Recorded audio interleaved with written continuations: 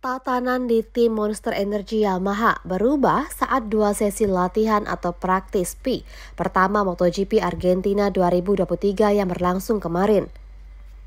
Kali ini bukan Fabio Quartararo yang menjadi ujung tombak pabrikan garpu tala tetapi rekan setimnya Franco Morbidelli.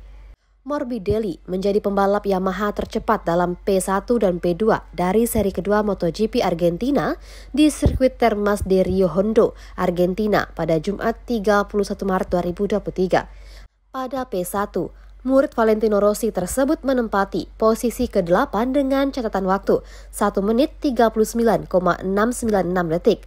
Morbidelli menunjukkan ritme yang bagus dengan hampir selalu berada di posisi tiga besar.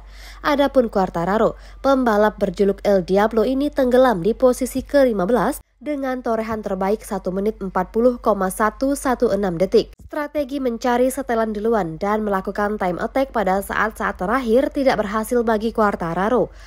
Quartararo gagal mencetak klip yang sempurna dalam dua percobaan pertama sebelum berhenti lebih cepat karena mengira bendera sudah dikibarkan.